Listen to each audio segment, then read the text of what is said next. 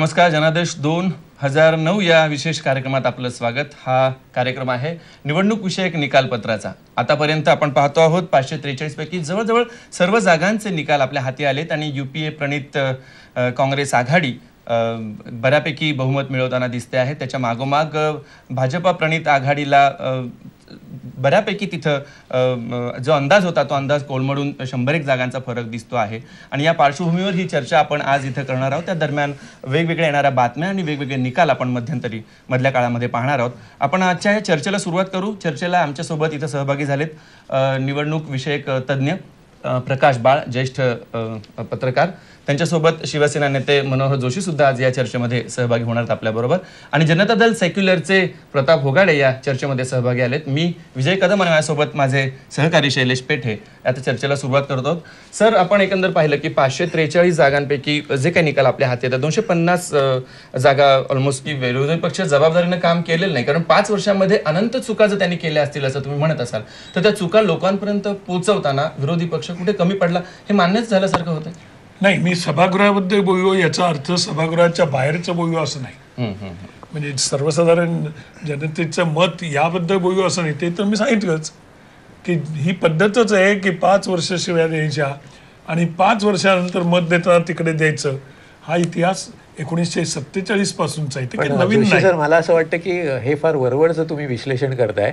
म्हणजे हे असं होतं की शिवसेना प्रमुखांनी मागे सांगितलं होतं की हे मत बाईचं नाही शाईचं आहे.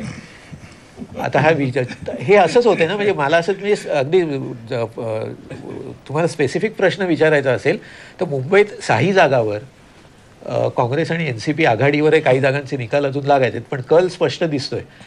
तुम्हाला असं वाटत नाही का की गेल्या एक दीड वर्षात मनसेचा जो घटक इथे निर्माण झाला राज्यात त्याचा फटका शिवसेनेला आणि भाजपला बसला. म्हणजे अगदी तुम्ही स्पष्टपणे सांगायला पाहिजे कारण मनसेनी मतं खाल्ली. हे मतदानाची जी आकडेवारी दाखवते म्हणजे उघड तुम्ही बघा की उत्तर मुंबईत राम नाईक. म्हणजे मी मुद्दामून तुम्हाला उत्तर मुंबईचं उदाहरण अशासाठी विचारतोय की गेल्या पाच वर्षात गोविंदा हे जे काँग्रेसचे खासदार होते आणि जे सिनेमा नट आहेत त्यांनी तोंडी मतदारसंघात दाखवलेलं नव्हतं आणि प्रत्येक म्हणजे एक पत्रकार म्हणून मी तुम्हाला सांगतो की जे जे आमचे मित्र त्या मतदारसंघात गेले जे जी आधीची सर्वेक्षणं झाली त्या सगळ्यांनी अत्यंत तीव्र संताप काँग्रेस विरुद्ध व्यक्त केलेला होता. आणि त्यामुळे राम नाईक यांची ही सीट जवळजवळ ॲश्युअर्ड होती निवडणुकीच्या सुरुवातीला. पण हे असं का झालं? ह्याचं उघड कारण आहे की तिथे मनसेनी सेना आणि भाजपची मतं खाल्ली. आता ह्या फाय तुम्ही जे नुसतंच सांगताय की गेले सत्तेचाळीस सालापासून हे होतंय हे कितपत खरं असेल? हे दिसत नाही या मतदानात हे झालेलं असं. मुंबईतल्या मतदानात तर ते झालेलं दिसतच एक नाही मुद्दा महत्त्वाचा आहे की सत्तेचाळीस सालापासून जे राजकारण मी पाहतोय त्यात पद्धत अशी आहे की नेहमी शिव्या द्यायचं काँग्रेसला आणि मत पुन्हा काँग्रेसला द्यायचं. आणि मी असं असं याचं कारण समजतो की जो मतदार आहे तो मतदार. विचारपूर्वक मतदान जे करायला पाहिजे तो करणारा नाही आणि याचं कारण दुर्दैवाने आपल्या देशामध्ये लोक अशिक्षित आहेत निरक्षर आहेत. पण याचा अर्थ आणि याचा की अर्थ याचा अर्थ जबाबदारी नाही नाही बिलकुल असं नाही बिलकुल असं नाही.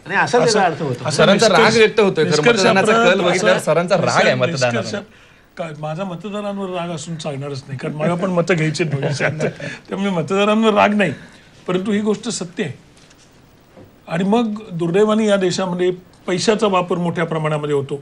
पण यामध्ये सारेच पक्ष आहेत. आपण असं सारेच पक्ष आहेत. हे काय असं एकाला काँग्रेसच कोणाला नाही, दोष नाही, नाही देता नाही बरोबर आहे. म्हणूनच वेगवेगळ्या पक्षांनी या निवडणुकांमध्ये वेगवेगळ्या प्रकारची शक्ती वापरली. कोणी कोणती शक्ती वापरली याचा विचार करण्याची आवश्यकता ते भाजपा प्रणित पण वापरली असेल वापरली असेल. मी सगळ्या. भागच झाला. आता सर आपण सगळ्यांनी. म्हणालात की शेवटच्या क्षणी मतदार जेव्हा मतदान करायला जातो तो काँग्रेसला पाच वर्ष शिवाय देत असेल. पण आत्ताचाच आपण प्रचार पाहिला की आपले स्टार प्रचारक होते नरेंद्र मोदी होते लालकृष्ण अडवाणी होते आणि कुठेतरी काँग्रेसने एक जबाबदार नेतृत्वाच्या स्वरूपात मनमोहन सिंग किंवा राहुल गांधी. तर जशी कंपॅरिझन झाली ही सरळ सरळ अशी झाली असेल. आणि हिंदुत्व म्हणा की इतर जे काही मुद्दे होते आणि हा जो फर्स्ट वोटर यावर्षी या मतदानात जो होता त्याचा कुठेतरी आपल्याने विचार केला नाही असं आपल्याला वाटतं बिलकुल वाटत नाही. याचं कारण असं होतं की ज्यावेळी एखादा पक्ष मागे पडतो त्यावेळी त्या पक्षाचे दोष दाखवले जातात ठळकपणे. आणि नथिंग सक्सेस हे सक्सेस आणि त्यामुळे कारणं कोणी विचारत नाही. पराभवाची विचारतात. आणि म्हणून तशा प्रकारची कारणं जरी देण्यात आली तरी त्यामुळे मला यत्किंच ते भांबावून जाण्याचं कारण वाटत नाही. मला खात्री आहे की हा चुकणारा मतदार लोकसभेत जरी चुकला तरी विधानसभेमध्ये त्याला पुन्हा कळून येईल.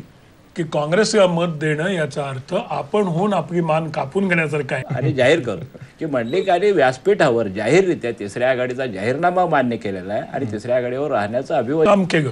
आणि म्हणून मला तर असं वाटतं की काही वेळा राजकारण राज राजकारण राज्यकर्ते करतात आणि राजकारण प्रसारमाध्यमं करतच नाहीत असं काही म्हणता येणार नाही. त्यांचाही फार मोठा हिस्सा याच्यामध्ये होतो. त्यामुळे तोही त्यांचा असतो हिस्सा आहे नाकारता येणार नाही. आणि म्हणून यावेळच्या या निवडणुकांमध्ये शिवसेना भाजप या दोन्ही पक्षांना अपेक्षेपेक्षा थोड्या जागा कमी मिळाल्या असल्या तरी त्यामुळे नाराज होण्याचं कारण नाही. विधानसभेच्या वेळी कदाचित पुन्हा या सगळ्या गोष्टींचा अभ्यास करून पुढे जाता येईल आणि तशा प्रकारचा विश्वास मनामध्ये बाळगणं आवश्यक आहे. नाही मला एक या संदर्भातच एक मुद्दा उपस्थित करायचा मी सुरुवातीला जोशी सरांना विचारलं की हे तुम्ही का आणि कसं बघता? का झालं आणि क कसं बघता ह्याकडे तुम्ही आता जर म्हणालात की ह्याचा सगळ्याचा अभ्यास करून तुम्ही पुढे जाल तर तिथेच हा महत्त्वाचा प्रश्न येतो की हा अभ्यास करताना तुम्ही मनसेचा घटक लक्षात घेणार की नाही? का केवळ तुम्ही मतदार असे द- दरवर्षी पाच वर्ष टीका करतात आणि मतदान केंद्रावर गेल्यावर बटन काँग्रेसच्या आणि राष्ट्रवादीच्या नावाने दाबतात. असंच तुम्ही म्हणणार का? तुम्ही अभ्यास काय करणार? हा मुद्दा तुम्ही जनतेसमोर मांडणार का की आम्ही अभ्यास केला आमचं हे चुकलं? आपल्याला एक गोष्ट सांगतो की ज्या गोष्टी आमच्या चुकल्या त्यातल्या ज्या गोष्टी सांगाव्याशा वाटतील ती जनतेला सांगू. ज्या जनतेला सांगण्याची आवश्यकता नाही त्या सांगणार हे. लोकशाहीत जनतेला काही गोष्टी सांगू सांगू नयेत?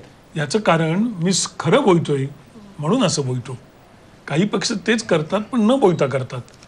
मग ही गोष्ट लोकांना सांगणं आवश्यक वाटतं की खरी गोष्ट आहे की काही मुद्दे हे मनामध्ये ठेवणं आणि त्याचा अभ्यास करून त्याच्यावर सुधारणा करणं आवश्यक आहे ते आम्ही करू.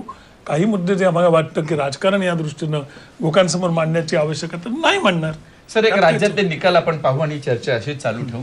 राज्यातल्या निकालांबद्दल. राज्यातला पहिला विजय राष्ट्रवादी काँग्रेसला मिळाला असून सातारा मतदारसंघातून राष्ट्रवादी काँग्रेसचे उदयनराजे भोसले अडीच लाख मतांनी निवडून आलेत. उत्तर गोवा मतदारसंघात भाजपचे श्रीपाद नाईक सहा हजार मतांनी विजयी झालेत. दक्षिण गोव्यात काँग्रेसचे फ्रान्सिस्को सार्दिना विजयी झालेत. माढा मतदारसंघात केंद्रीय कृषी मंत्री शरद पवार यांनी एक लाखाहून अधिक मतांची आघाडी घेतल्यानं त्यांचा विजय निश्चित मानला जातोय. बीड मतदारसंघात भाजपचे गोपीनाथ मुंडे पंचवीस हजार मतांनी आघाडीवर आहेत. हिंगोली मतदारसंघात शिवसेनेचे सुभाष वानखेडे यांनी केंद्रीय मंत्री सूर्यकांत पाटील यांच्या विरुद्ध चौतीस हजाराहून अधिक मतांची आघाडी घेतल्याचं दिसतंय. कोल्हापूर जिल्ह्यात हातकणंगले मतदारसंघात विद्यमान खासदार निवेदिता माने यांचा पराभव जवळजवळ निश्चित झालाय. तिथं स्वाभिमानी शेतकरी संघटनेचे राजू शेट्टी यांनी एक लाखाहून अधिक मतांची आघाडी घेतली आहे.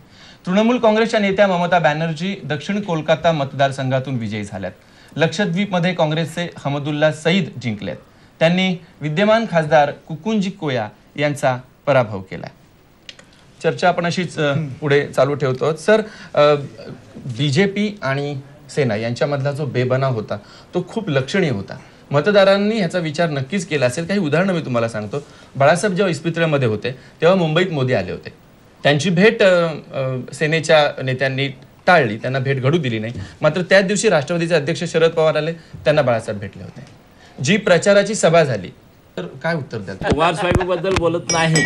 पण आज सत्तेसाठी नको त्या आघाड्या नको त्या पद्धतीनं आजच्या राजकारणातही झालेल्या आहेत. उद्याही ह्या निकालानंतर पुन्हा होणार आहे.